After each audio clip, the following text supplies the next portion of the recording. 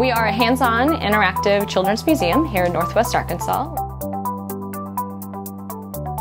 We really wanted to create something that was not about answering questions, but helping people ask good, meaty questions about the world around them.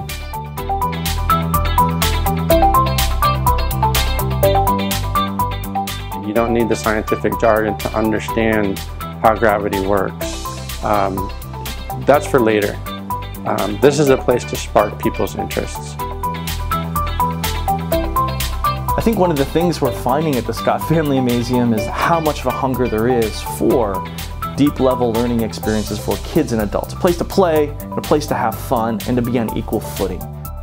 The museum gives me a chance to really focus my time with my children. I'm with my kids every step of the way.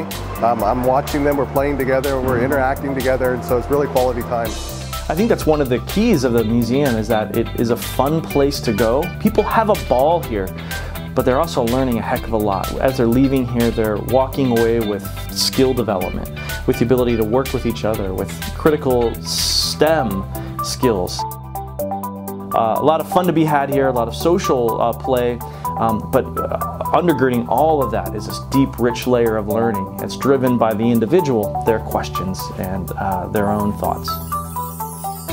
So often people see play as being something that is just for children, and the phrase uh, they're just playing is sometimes used.